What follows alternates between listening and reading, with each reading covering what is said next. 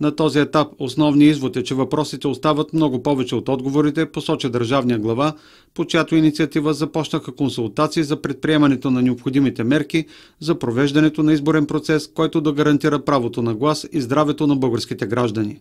Говори като организация на предизборна кампания, организация на самия изборен процес по отношение на здравната политика и готови конкретни планове за действие.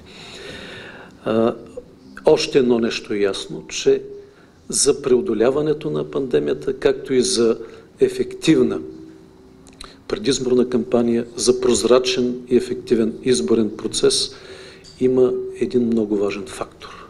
И това е навременна, всеобхватна и надежна информация. По думите на здравния министр професор Костадин Ангелов, в момента се изработва протокол за провеждане на изборите в пандемична ситуация.